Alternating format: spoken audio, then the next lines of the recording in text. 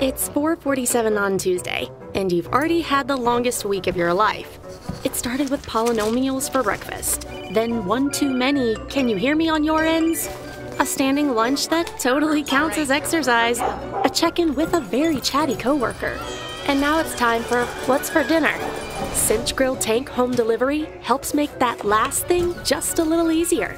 Cynch.com, the easiest part of your day.